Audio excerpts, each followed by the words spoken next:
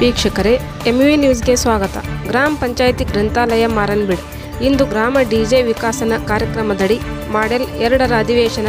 ಒಂದು ಇನ್ಫಾರ್ಮೇಷನ್ ಹಾಗೂ ಸ್ಟೋರೇಜ್ ಬಗ್ಗೆ ಮತ್ತು ಮೊಬೈಲ್, ಮೊಬೈಲ್ಗಳನ್ನು ಹೇಗೆ ಬಳಕೆ ಮಾಡಬೇಕೆಂದು ಎಂಬುದರ ಬಗ್ಗೆ ಮಾಹಿತಿಯನ್ನು ನೀಡಲಾಯಿತು. ಈ ಒಂದು ಕಾರ್ಯಕ್ರಮಕ್ಕೆ ನಮ್ಮೂರಿನ ಶಾಲಾ ಮಕ್ಕಳು ಭಾಗವಹಿಸಿದರು.